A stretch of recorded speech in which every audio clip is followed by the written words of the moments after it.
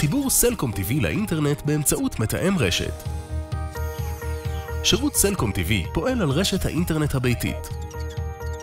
אם הממיר אינו ממוקם קרוב לנתב הביתי, באפשרותכם ליצור נקודת רשת נוספת ליד הממיר באמצעות שימוש במתאם הרשת האלחוטי.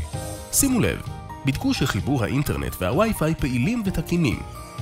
בסרטון הבא נדגים כיצד לחבר את הממיר למתאם הרשת.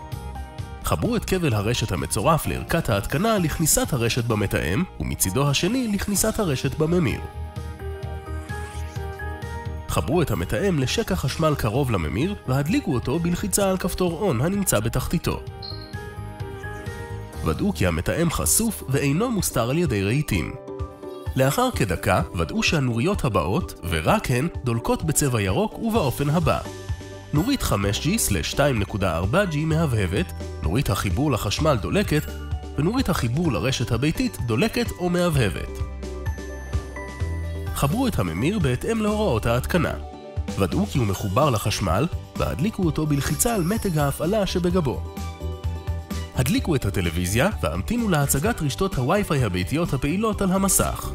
בחרו את הרשת הביתית שלכם והתחברו אליה. אם בבעלותכם מספר רשתות זמינות, בחרו את זו עם העוצמה הגבוהה ביותר. על מנת לוודא כי התהליך הושלם בצורה תקינה, שימו לב שלפחות נורית אחת דולקת.